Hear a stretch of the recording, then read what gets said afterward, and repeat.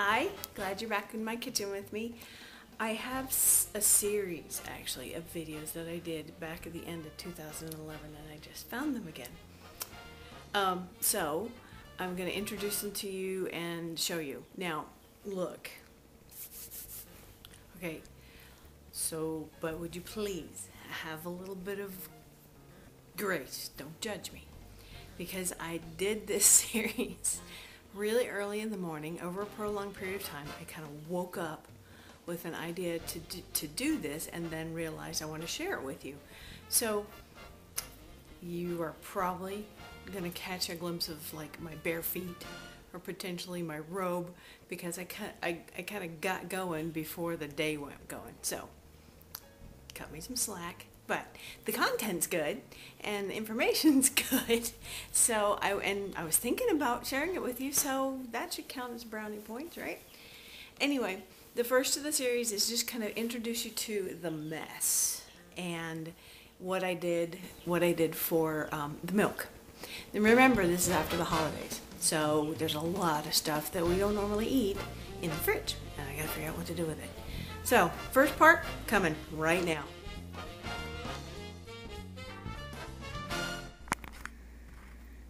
Okay, I'm about to show you something scary. Cue the creepy music. every, probably once a month, maybe every two months, but definitely after a holiday, I get into a cleaning frenzy of the fridge. Try to clear it out once a week to check on things that might be going bad and then make my meal plans and my soup container, throw things in the freezer before they go bad, that kind of stuff. And a kitty is dying to come over here. Um, but this is my the contents of my entire fridge, gutted and cleaned. I'll show you that. Hang on.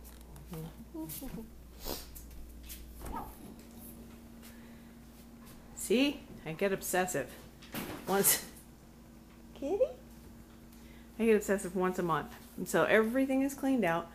And what I'm going to be doing is combining things, throwing out old jars, I hope, instead of keeping them, and um, kind of making a menu plan from all this holiday food that we don't normally eat throughout the year, figuring out what goes frozen, dehydrated, canned, whatever, and put up so that we can, instead of wasting the money we spent on holiday food for leftovers, we can actually use them. But I wanted to show you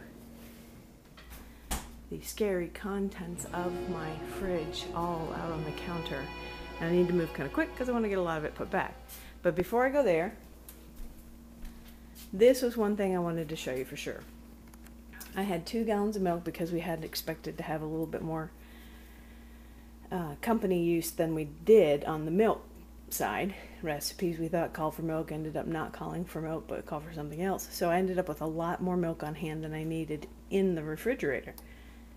So I'm going to do what I usually do when I find milk on sale is I freeze one. But because one of these was completely full, I think this one was, and this one was only about there, um, I'm doing my other budget thing, and first I'm extending it before I freeze it. So what is that? Um, this one I've already done it to, and then it dawned on me I needed to tell you. So I'm doing it to this one. I've got four cups, which is a quart of water, and I'm adding it to basically it's half a gallon of 2% milk. And if I can do this while holding the camera, it will be a miracle. It's really early in the morning, so, um, and it snowed, so I'm just kind of up and, and project oriented right now. I really should be working, but I'm not. And so we keep our dry milk in one of our spin lid buckets in the pantry. We keep others down in the basement, but keeps it nice and dry. Those neoprene seals are awesome. And in it, I also keep my really expensive funnel and a quarter cup so that I can mix um, a cup at a time actually because although the See, this is where the one hand may not work well. Although the uh, instructions say to use one and a half cups for a quart of water.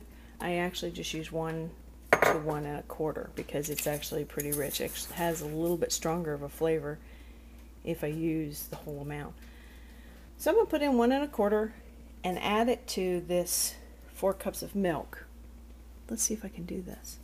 Yeah, probably not. Gonna set you down. Glory.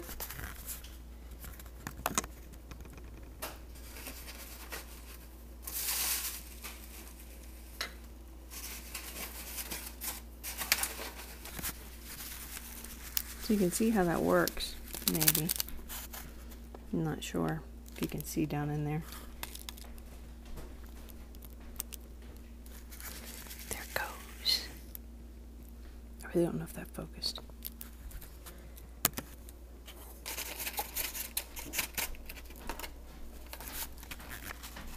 Okay, after that's done, this is something I usually like to do just because it helps me remember. This lid came off of here because it's blue. This lid came off of here because it's white. What I usually like to do so that I remember I already mixed this um, is trade the lids. And I'll mark it, um, take a Sharpie, mark the date off, um, because then we'll put the date on it once we've taken it out of the freezer, the date we take it out of the freezer.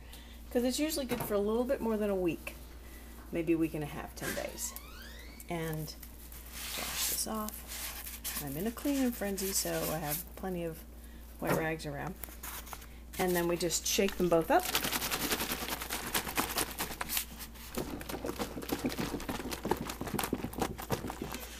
And due to the fact that it's got this much space, this will freeze fine without popping the lid off of it.